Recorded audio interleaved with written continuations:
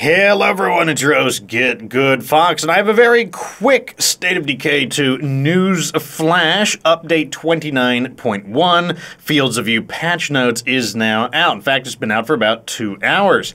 This is how it reads. With today's update, we are addressing a few issues that have been causing players some problems. Here's what we fixed in the update.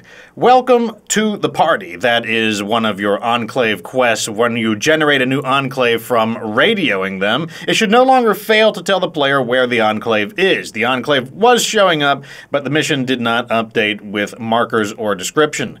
Zombies should have an easier time walking around in Marshall instead of standing around yelling about how unfair it is that they can't reach you. Infestations should be back to normal again. Players should be able to have more than five, and those infestations will be able to grow past one screamer.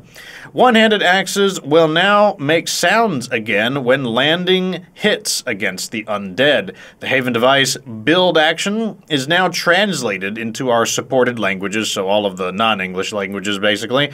We fixed a slew of lighting bugs in various parts of the world, probably referring to some of the car issues in particular, which I showed on my channel. Anyways, that is the end of the very quick news flash. Remember, follow my channel for more State of Decay 2 news. Like the video if it was entertaining. Remember, I've got my big time Lethal Zone YouTube and Twitch progression going on. Feel free to tune in. Anyways, till next time, boys, remember that you don't have to be good to get good.